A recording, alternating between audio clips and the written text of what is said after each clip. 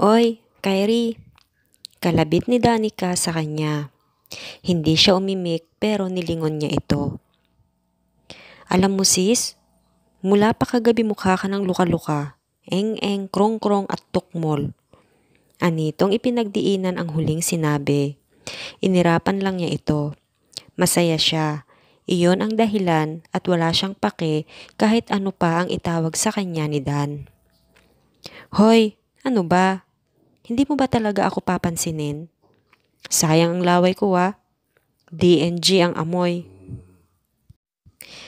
Okay, okay. Bakit ba? Anyang itinaas ang mga kamay, tanda ng pagsuko sa kakulitan nito habang tumatawa. Sister, kanina ka pa nakangiti sa kawalan. Okay ka lang? Nawewerduhan na sabi nito na tumabi sa kanya.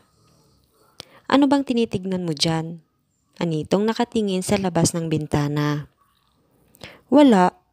Nakangiti pa rin niyang sagot rito. Ano bang nangyari kagabi at nagkaganyan ka na? Hindi ka man lang magkwento? May hinampo sa tinig nitong lumayo sa kanya. Ala, kinantahan at tinugtugan lang naman ako ng piano ni Cairo. Tila nananaginip niyang sabi na niyakap ang sarili. Ay, panalo sis. O, tapos, animo butete sa pagkakilig nitong nagpapapadyak. Ayun, basta sa akin na lang yun, okay? Ay, kaasar, ang damot. Ngumuso ito sa kanya ng pagkatulis-tulis. Iyong tipong kulang na lang ay pwede nang sabitan ng kaldero. Ano ka ba naman, Dan? Pagbigyan mo na ako managinip. Anyang lumapit dito at matamis na ngumiti. O siya, sige. Dahil in love ka na rin lang naman. Fine. Then he hugged her. Siya, in love. Nagkakamali yata ang kaibigan niya nang sinabi. Yes, she admits that she is fascinated by Cairo. And it was her first time to be treated like a real princess in the real sense of the word. But that does not mean she's in love. It can't be. Natahimik ka dyan. Puna ni Dan sa pananahimik niya. I'm not in love, Dan. Hi, bruha. Eh, anong tawag mo dyan? Hinila nito ang buhok niyang nakatali. Aw! Napangiwi siya sa sakit. I'm just fascinated by, by him, okay? Fine. I-fascinate mo mukha mo.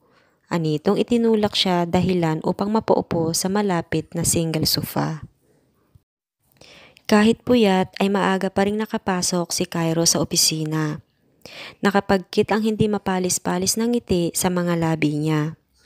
When he kissed Kyrie, he felt as if he was complete. Ang hindi nito pagtanggi sa iginawad niyang halik ay ang mas ikinatuwa niya. Somehow, he knew their feelings are mutual. Tahimik siyang pumasok sa kanyang silid nang madaanan ang trash bin at may napuna. May papel, nag-iisang papel na nakalamukos roon. He remembered his janitor throwing all the garbage yesterday. How come there is still one left? Kunot noong dinampot niya iyon at binuksan. Bilang na ang oras mo, Kyrie Martinez. Ibigay mo ang nararapat kung gusto mo pang mabuhay. It was a treat, and it was for Kyrie. Paanong napunta iyon sa loob ng opisina niya? At sinong may gawa nito? Nagdududang napatingin siya sa kabuuan ng opisina. Wala pang ibang taong dumarating roon maliban sa gwardya niya sa labas ng shop. Agad niyang tinungo ang gwardya upang magtanong. Baka may nakita itong tao na pumasok roon. Nestor, may pumasok na ba dito maliban sa akin? Wala pa ho, sir. Magalang na sagot ng gwardya. Sige, sabihan mo ako kung may kahinahinala kang tao na mapansin. Bilin niya bago tuluyang pumasok muli sa loob ng opisina. Hindi siya maaaring magkamali ng hinala. Isa sa empleyado niya ang gumawa niyon dahil may logo pa ng kanyang shop ang papel na pinagsulatan nito. Marahas siyang napabuga ng hangin. Kung ganoon, kailangan masabihan niya si Mundo tungkol sa kanyang natuklasan bago pa may mangyaring masama kay Kyrie. Thank you for the info, Cairo. Magpapadala ako ng tao na susubaybay dyan. Sagot ni Mundo nang tawagan niya ito. Thanks, Mundo. Nasisiguro kong nasa tabi-tabi lang ang taong yon. Balitaan mo na lang ako. Pagtatapos niya sa kanilang usapan. Good morning, sir. Masayang bati ni Amelia na sumulpot. Good morning. Ang aga niyo, sir ah. Nakangiting sabi ni Amelia na sa hawak niya nakatutok ang paningin. Ano yan, sir? Love letter? O siyosong sabi nito. No. You tell me, Amelia. Is this yours? Maautorisadong tanong niya na iniharap dito ang lukot-lukot na papel. Sir, hindi sir. Mariing tanggi ni Amelia na baka sa mukha ang pagkagulat. Are you sure? He was so sure it was Amelia because the trash bin was just beside her table since she was his secretary. Yes, sir. Anitong nakatitig sa hawak niyang papel. Ano ba kasi yan, sir? Nothing. Ilang sandali pa niya itong pinakititigan bago nagsalitang muli. Tawagin mo ako kapag dumating na si George. Anya, bago tuluyan pumasok sa loob ng kanyang opisina. Tatlong oras na nang nakakalipas, ngunit wala pa rin George na dumarating. Inip na tumayo siya at tinungo ang glass panel window at ibinuka ang blinds niyon upang sumilip sa labas. Kunot noong napatingin siya sa kinaroroonan ni Amelia. Tila may ginugupit ito na kung ano sa hawak nitong dyaryo.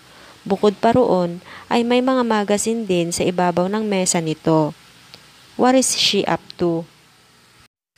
He can't come near her.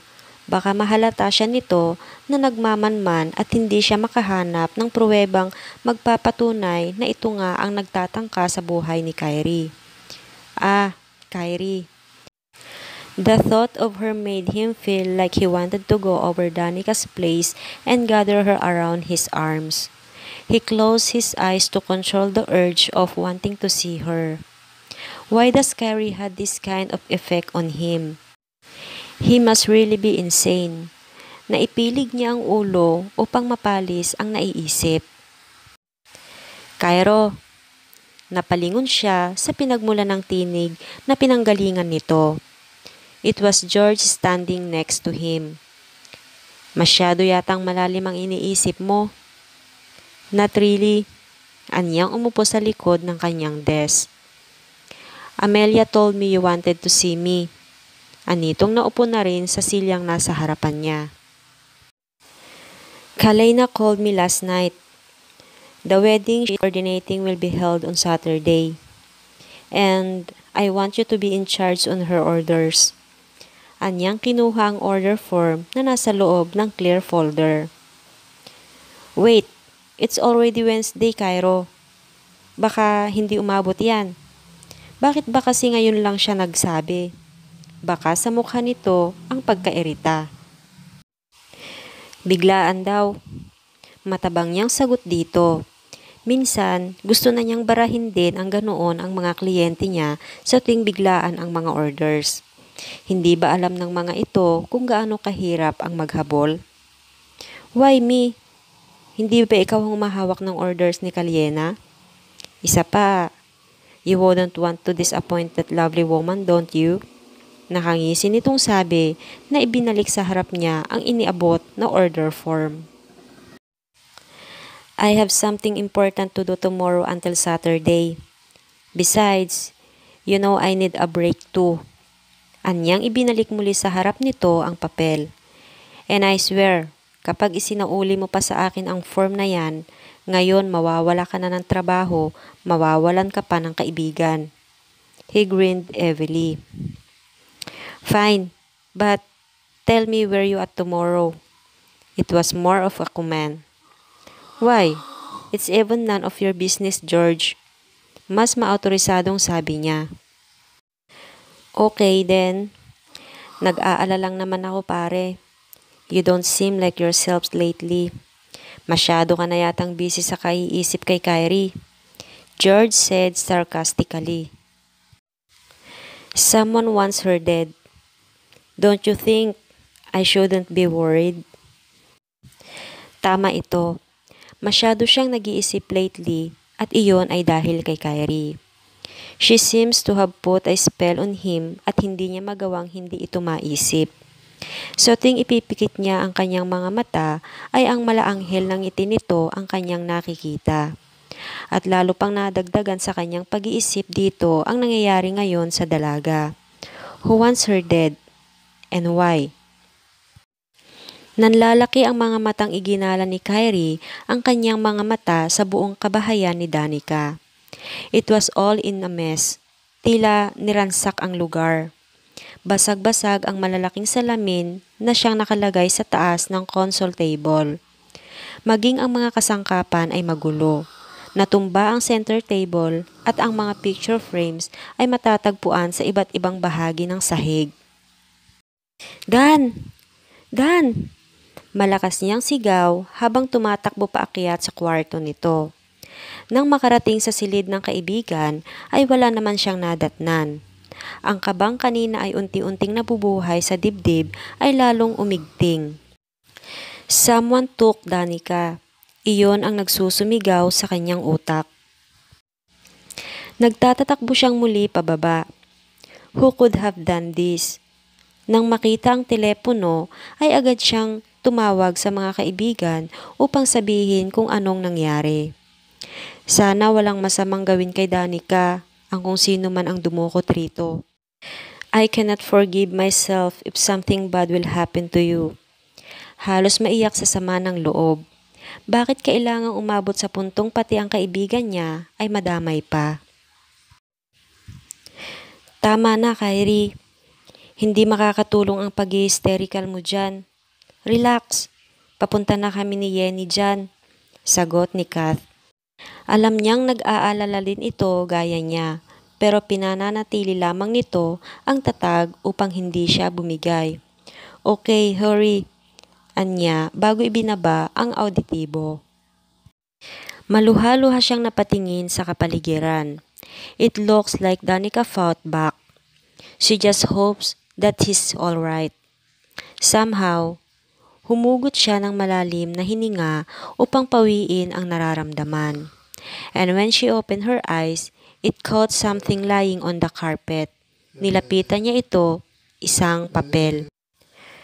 Kailangan pa ba kitang unti-untiin kay Martinez? Ibigay mo ang akin kung gusto mo pang makitang buhay ang kaibigan mo. The letters were cut out from different magazines and newspapers. And she thought so. May kinalaman talaga sa kanya ang pagkawala ni Dan. She felt her knees shaking as she sat down on the floor. She kept staring at the paper that she is holding. Who are you? What do you want? I don't even know what you are talking about. Napabulala siya ng iyak. Kyrie! Napayakap agad sa kanya si Kat at Yenny nang makita siya. She felt good somehow when they hugged her. Oh my, this place look like it's been washed out by flood.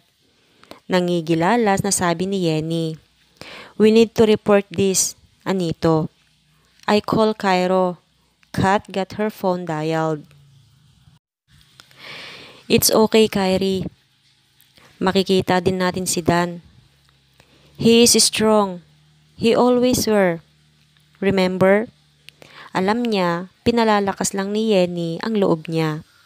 But she really felt guilt eating her. It was her fault. The killer was only after her.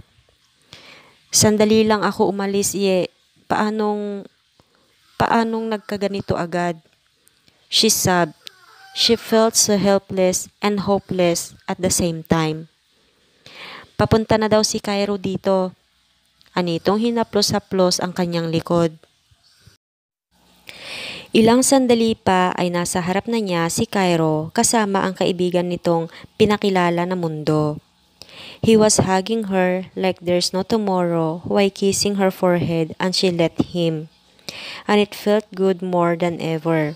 She felt secured na and safe. Ano pang itinatanga-tanga mo dyan? Asik ni Yenny sa kaibigan ni Cairo na siyang hudyat para sa kanya upang kumalas sa mga yakap ni Cairo. Yenny, saway ni Kath. Nanonood pa kasi hindi na lang gawin kung may magagawa. Inis na sabi ni Yenny na tinapunan si Mundo ng masamang tingin. They are blocking my way in and I don't want to spoil the moment here. Malamig nitong tugon. Tumabi na nga kayo dyan nang matapos na ito at makaalis na. Sita nito sa kanila ni Cairo pero kay Mundo naman nakatingin. She felt something between the two. For the first time, ang ngayon lang niya nakitang nagtaray ang kaibigan niyang ito. At sa isang gwapong lalaki pa. Naiiling siyang umisod upang makaraan si Mundo. What's with you? Nagtatakang tanong ni Kath kay Yenny. Nothing. Matabang na sagot nito.